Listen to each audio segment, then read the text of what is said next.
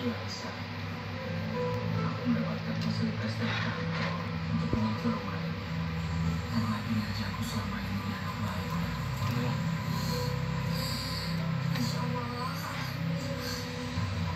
Aku bangga sama kamu.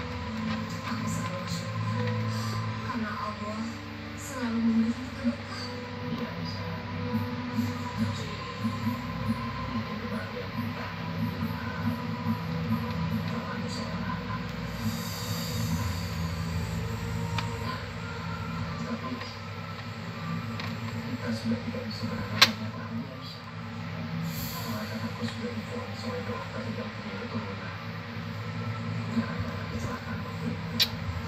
Mas, kamu gak boleh ngomong kayak gitu. Kalau Allah sudah berkehendak Apa pun pasti bisa terjadi.